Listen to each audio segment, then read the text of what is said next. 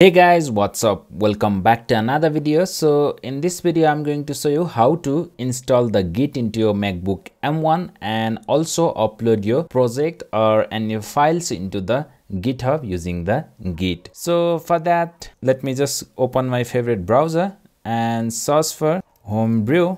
So if you haven't installed homebrew just go to this brew.sh and just copy this command and just open your terminal and paste that command. So this will install the homebrew. So if you want the detailed video for how to install homebrew on your macbook m1 i have already got video for that. So you can just check out on the description. So once you install the homebrew you just need to type brew hyphen hyphen version. And if it shows some version like this then the homebrew or the brew is installed into your system. So once the homebrew is installed into your system you just need to type brew install and git and click enter. So this will start installing your git into your system. So now to check if git is installed or not just type git hyphen hyphen version. So you can see the git version. So the git has been successfully installed into our system. So now to upload the file or any project so let me just open my vs code. So if you haven't installed vs code just install the vs code and let me just open that and let me just create one folder. So just click on open folder and let me just navigate to the desktop and create one folder. Let me call it demo project and let me just click on open. So inside here i just want to create one file. Let me call it index.html and inside here let me just create something.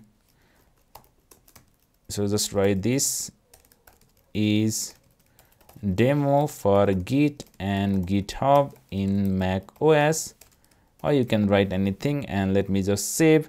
So i just want to add or push this file into the github. So for that let me just go into this google chrome and search for github. So if you haven't created the github account so you can just click on this sign up and just enter your email address and just click continue so let me just create one password and let me just give the username. So you can give any username. So for simplicity i will just keep the same name as my email and just press continue. Click y. So once this is done just click click on this create account and just go to your gmail. So you can see the code. So you just need to copy this code and let me just paste it into here. So just paste it here. So here it will ask for the team members. So let's just click just me and continue. So just click on continue. So you just need to choose the free one. So skip the personalization. So here you will be able to see this kind of interface. So you just need to create one repository. So for that just click on this plus sign and click on new repository so you just need to give the name of the repo and let me just type something like demo project or you can give any repo name.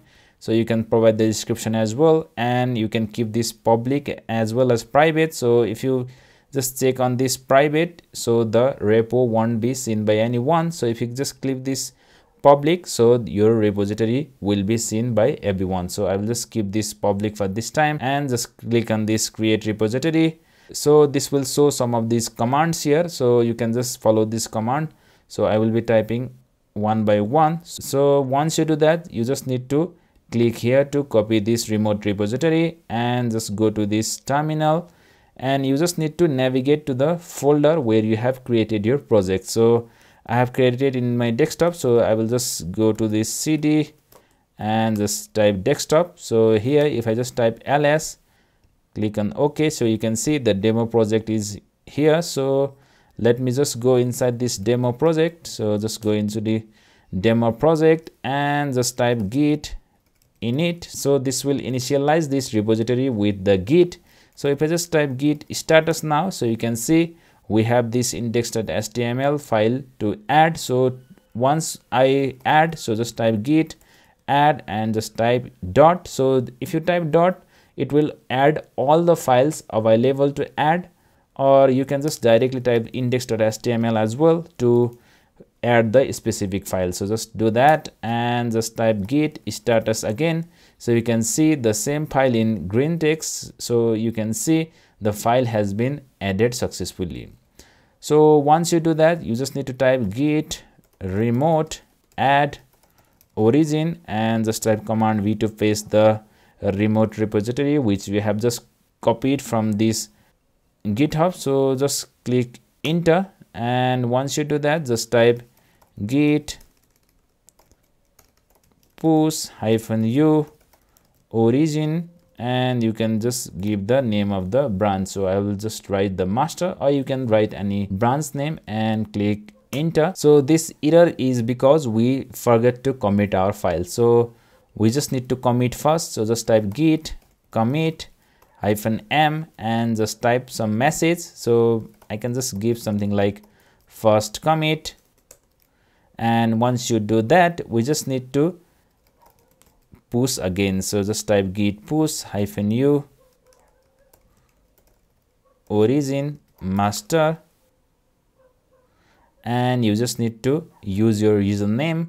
So for putting your username we have just given the username so Arjun codes demo in, while creating the github account and you just need to enter your password as well.